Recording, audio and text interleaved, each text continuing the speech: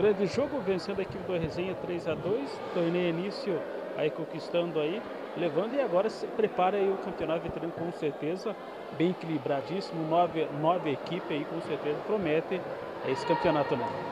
Pois é, rapaz, Resenha é um time bom, só de companheiro, né?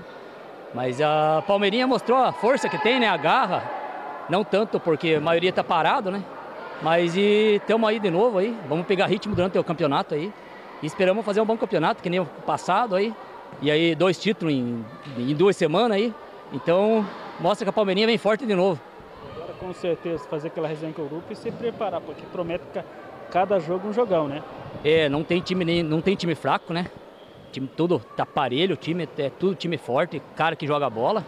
E vamos para cima, né? Tem que ser, cada jogo é um jogo e vamos mostrar a força da Palmeirinha de novo. Márcio, torneio início, veterano de futsal, aí oito, é, nove times, né? E com certeza vencendo a equipe por 2 a 1 um, um grande jogo.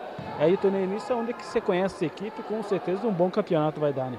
É isso aí, Alencar. Torneio início aí bem animado, bem disputado.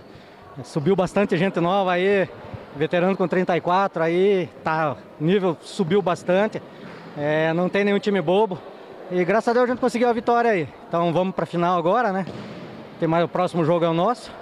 E assim, é, nosso time, graças a Deus, já é um time bem entrosado. Faz anos que a gente joga junto. Então a nossa vantagem é essa. Mas valeu. Mas é isso aí. Vamos, vamos para final aí. abraço. E o campeonato 45, mas você acima aí de 40, jogando muito mais. 47 já, né, cara? Tá na hora de pendurar a chuteira. Mas estamos aí, estamos brincando com a, com a piazada ainda.